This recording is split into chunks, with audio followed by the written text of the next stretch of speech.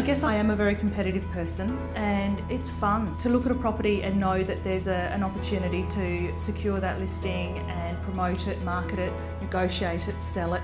And there's nothing like the feeling of walking into someone's home with a contract that you know is just going to blow them away. I love being a mum. I guess there's nothing in the world that will ever be as rewarding as, as seeing the smiles on their faces when they've achieved something new for the first time. It is a busy life and at this stage in my life Darren and I, we have a blended family. So between us, we have five children. It's a great way to live. They're, they're terrific mates and they always get along really, really well.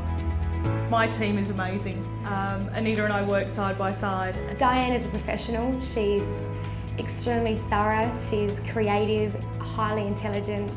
She is just amazing mentor. Everything she says, everything she does, I try and absorb like a wet sponge. I learn so much and I come to work feeling that every day I'm closer to being a real estate agent and if I can be anything like Dianne is then I'll be really happy.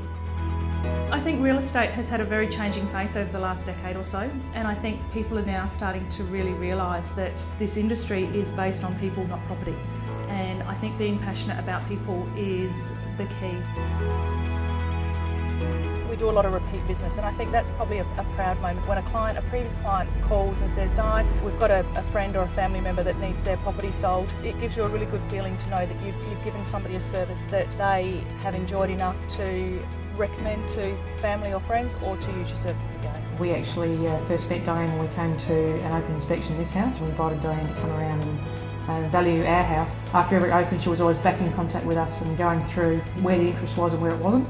Probably wasn't as evident to us until the actual day of the auction when uh, people arrived and you could actually sense that potential buyers had really invested with Dianne and Dianne with them. We know of our friends who are looking for houses or there's a house for sale in this area. We've put Dianne's name forward quite readily. Yay!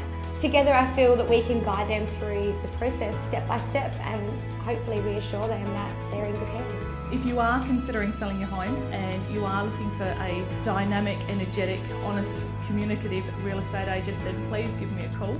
I'd love to come and uh, have a look at your home and see what I can do to help. Uh, if we were ever to sell here, and that's not likely, but if the time ever came, we'd make sure that we went through Dianne. Absolutely no second thoughts.